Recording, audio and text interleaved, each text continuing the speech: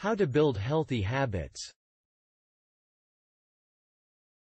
It's not about willpower. Good habits happen when we set ourselves up for success.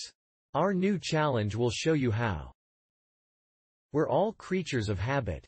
We tend to wake up at the same time each day, brush our teeth, have morning coffee and commute to work, following the same patterns every day. Behavioral scientists who study habit formation say that many of us try to create healthy habits the wrong way.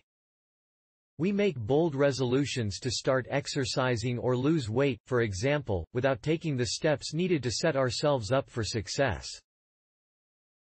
Stack your habits. The best way to form a new habit is to tie it to an existing habit, experts say. Look for patterns in your day and think about how you can use existing habits to create new, positive ones.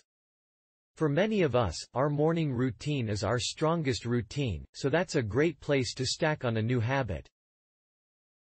A morning cup of coffee, for example, can create a great opportunity to start a new one-minute meditation practice. Or, while you are brushing your teeth, you might choose to do squats or stand on one foot to practice balance. Many of us fall into end-of-the-day patterns as well. Do you tend to flop on the couch after work and turn on the TV? That might be a good time to do a single daily yoga pose. Start small. Big behavior changes require a high level of motivation that often can't be sustained. Starting with tiny habits to make the new habit as easy as possible in the beginning.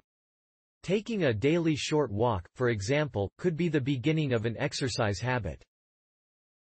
Or, putting an apple in your bag every day could lead to better eating habits. Do it every day. A study showed that the amount of time it took for the task to become automatic, a habit, ranged from 18 to 254 days. The median time was 66 days. The lesson is that habits take a long time to create, but they form faster when we do them more often, so start with something reasonable that is really easy to do. You are more likely to stick with an exercise habit if you do some small exercise jumping jacks, a yoga pose, a brisk walk, every day. Rather than trying to get to the gym three days a week. Once the daily exercise becomes a habit, you can explore new, more intense forms of exercise. Reward yourself. Rewards are an important part of habit formation.